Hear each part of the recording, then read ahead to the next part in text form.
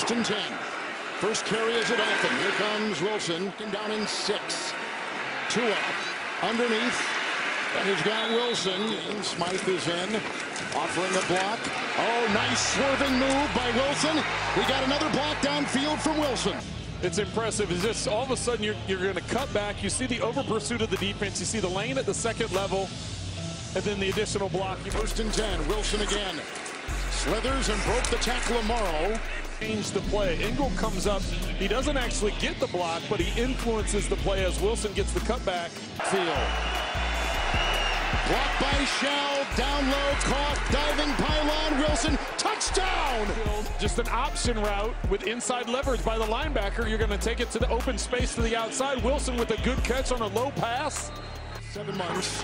Two big parts in the last two weeks. Second and nine. It's Wilson. He makes, it's a first and 10. Wilson, Ingold to block. And then he is held up by Kyler Gordon.